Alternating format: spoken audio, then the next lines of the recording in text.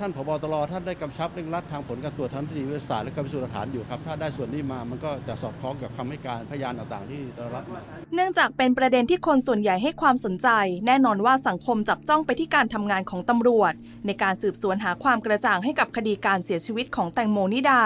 ดาราสาวชื่อดัง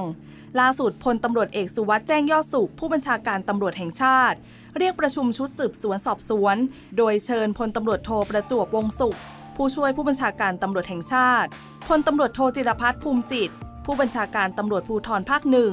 พลตำรวจตรีไพศาลวงวัชรมงคล ผู้บังคับการตำรวจภูธรจังหวัดนนทบุรี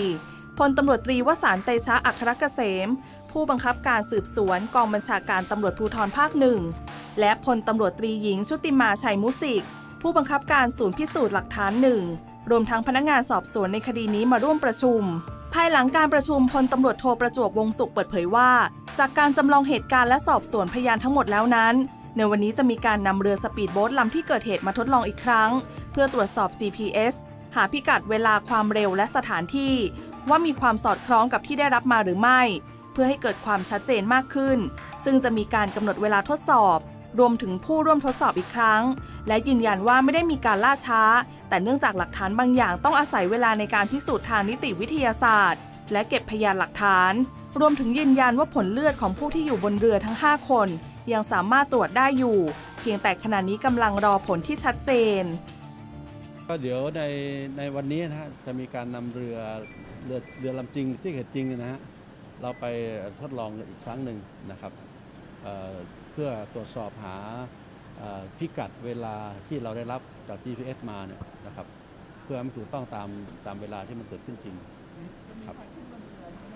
เดี๋ยวทางทางผู้จัดการตำรวจภาคหนึ่งนะท่านจะเป็นผู้กำหนดว่าจะมีใครยังไงไปบ้าง แล้วเวลาเท่าไหร่นะครับจำเป็นจะต้องเชิญ 5 ท่าน แล้วก็ในในในในบุคคลวันนั้นมาร่วมลงเรือด้วยไหมครับท่านเอ่อเดี๋ยวเดี๋ยวทางทางทาง ตำรวจภาคหนึ่งจะพิจารณาแต่จริงๆแล้วเนี่ยมันก็ไม่จำเป็นเพราะเราต้องการเอ่อตรวจพิสูจน์ของพิกัดที่ตาม GPS นะครับรวมทั้งเอ่อเส้นทางต่างๆ มันแมทกับแผนที่ความเร็วต่างๆ ที่ที่เราได้รับจากเอ่อ GPS เนี่ยว่ากับความเป็นจริงเนี่ยมันสอดคล้องและตรงกันไหมครับการตรวจซ้ำเนี่ยมันจะทำให้เราได้ประโยชน์ไหมในฐานะพนักงานสอบสวนนะฮะได้เลยครับ มันก็สามารถให้เรารู้เอ่อ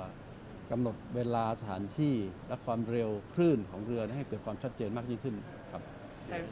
ตัวทั้งเสียงนะครับแต่มันมีในส่วนของที่สังคมบางส่วนสงสัยว่าเหตุการณ์ที่เกิดขึ้นเนี่ยด้วยความเคารพมันเป็นความล่าช้าของพนักงานสอบสวน หรือเป็นความล่าช้าของตำรวจหรือไม่ในการที่จะคลี่คลายคดีเริ่มตั้งแต่วันแรกนะท่านไม่ไม่ไม่ได้ล่าช้านะครับ ทุกฝ่ายก็อย่างที่ท่านเห็นนะทุกคนนะผู้จัดการของภาคหนึ่งท่านลงมาทุกวันเลย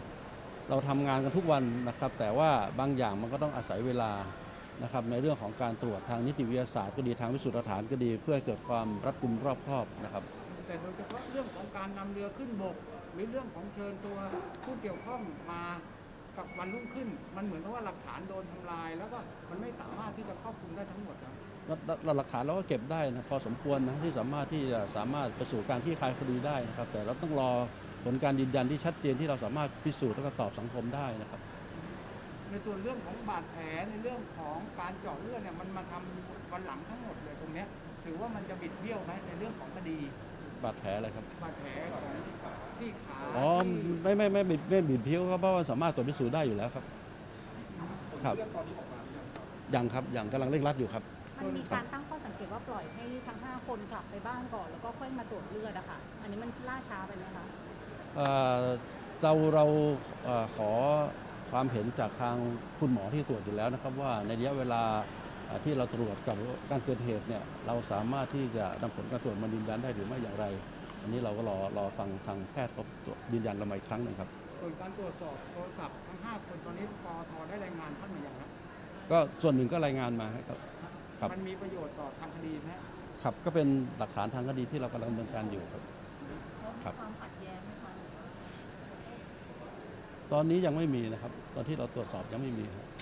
ครับไปตามคำให้การ ก็จะทุกอย่างที่เราได้รับมาเราก็จะนำมาประมวลผล อันไหนที่มันสอดคล้องกันก็ไปทางเดียวกัน ก็เป็นอีกส่วนหนึ่ง ส่วนไหนที่มันไม่ไม่ไปในทิศทางเดียวกัน แล้วก็ตรวจสอบให้ละเอียดมากขึ้น เพื่อเกิดความชัดเจนนะครับ ด้านผู้บัญชาการตำรวจภูธรภาคหนึ่งยืนยันว่า พนักงานสอบสวนจะดำเนินการอย่างเต็มที่ และตรงไปตรงมา ไม่สนใจว่าหนึ่งในผู้ที่อยู่บนเรือมีความเกี่ยวข้องกับคนมีสีหรือไม่ ส่วนที่มีการเชิญนักวิชาการ และนักอาชญาวิทยามาให้ข้อมูล เนื่องจากต้องการรวบรวมความคิดเห็นที่หลากหลายแง่มุม และมีความน่าเชื่อถือ รวมถึงต้องมีการจำลองเหตุการณ์ตาม GPS ของเรือ เพื่อมาพิสูจน์ข้อเท็จจริง ว่าสอดคล้องกับคำให้การของพยานหรือไม่ เพราะขณะนี้เจ้าหน้าที่ยังไม่ปักใจเชื่อคำให้การทั้งหมด ทุกอย่างต้องยึดตามพยานหลักฐาน ส่วนเรื่องของกรมธรรม์ประกันภัยของแตงโม ทราบว่าเป็นของทิพยประกันภัย โดยมีค่าสินไหมทดแทนเสียชีวิตจำนวน 1 ล้านบาท ซึ่งได้นำมาประกอบไว้ในการสืบสวนเรียบร้อยแล้ว เราทำคดีไปตามพยานหลักฐานที่ปรากฏนะครับ แล้วก็จะให้ความบริสุทธิ์อย่างต่อเนื่อง แล้วก็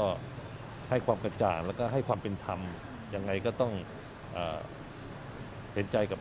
ทางญาติผู้เสียเสียชีวิตนะฮะเราจะทำคดีนี้อย่างตรงไปตรงมานะครับ แล้วก็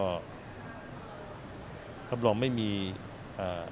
อิทธิพลจากที่ไหนมามาทำให้พนักงานสอบสวนเนี่ยเราขาดความยุติธรรมรวมนะครัทั้บงที่มีรายชื่อมีอ่าข้าราชการที่เป็นสีเขียวเข้ามาไม่ไม่ไม่วิ่งเต้นผมเองไม่ไม่สนใจอยู่แล้วนะครับ เพราะผมเอ่อทำงานมาด้วยความเอ่อตั้งใจการทำงานแล้วก็ทำงานมาเอ่อด้วยความ ตรงไปตรงมามาตลอดนะฮะ ทำไมทำไมเราถึงต้องเชิญนักวิชาการหรือว่าเรื่องนักอาชญาวิทยามาให้ข้อมูลเมื่อวานนี้เกี่ยวกับประเด็นการเสียชีวิตในครั้งนี้ครับก็หลายท่านเป็นเอ่อนักวิชาการนะครับ แล้วก็มีความเห็นอยู่ในสังคมเป็นที่น่าเชื่อถือ เราก็อยากฟังเหมือนกันนะครับ หรือว่าท่านในแพทย์ที่อื่นที่ที่มีความเห็นที่เป็นกลางแล้วก็แต่ ก็ท่านอยากบอกฟังว่าอ่าคนที่อยู่บนเรือเนี่ยยังพูดไม่หมดร้อยเปอร์เซ็นต์อันเนี้ยในแนวทางอาชญาวิทยาที่ได้ยินเหมือนกันผมผมผมผมผมก็คุยกับท่านนะฮะได้คุยกับท่านเรจะทำยังไงถ้าพูดไม่หมดกับการที่เหลือบางส่วนอาจจะเป็นสาระสำคัญบเดี๋ยวการบงคนการการสอบอย่างการนำเรือไปตรวจกับ GPS วันนี้เนี่ยก็เป็นส่วนหนึ่งที่คุณสุวรรณถามเมื่อกี้นะครับ เมื่อ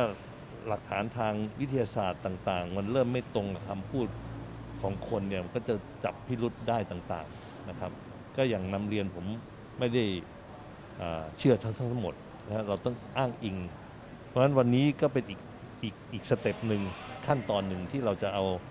อผลที่เราได้จาก GPS ของเรือนะครับ แล้วก็เส้นทางการเดินของเรือที่ปรากฏ แล้วก็เอามาเปรียบเทียบกับสถานที่จริงนะครับ แล้วก็จะต้องเชิญผู้ชำนาญการ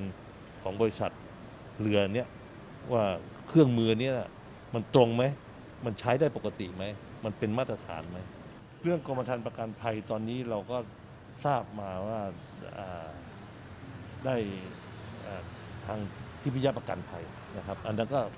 ประกอบไว้ในสำนวนการสอบสวนเรียบร้อยแล้วหลักทรัพย์เท่าไหร่ประมาณกี่บาท ถ้าเสียชีวิตจากอุบัติเหตุได้หนึ่งล้าน ก็ไม่ว่าครับได้หนึ่งล้านค